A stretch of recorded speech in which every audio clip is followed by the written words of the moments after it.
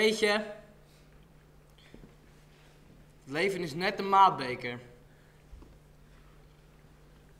Je weet eigenlijk nooit echt waar je zit.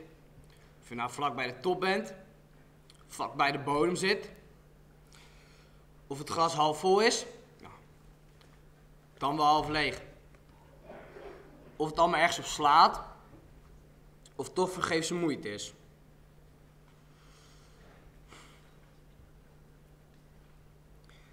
Weet je, Eva?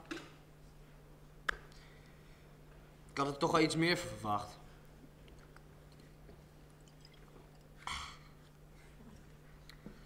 Nou, van het leven dan.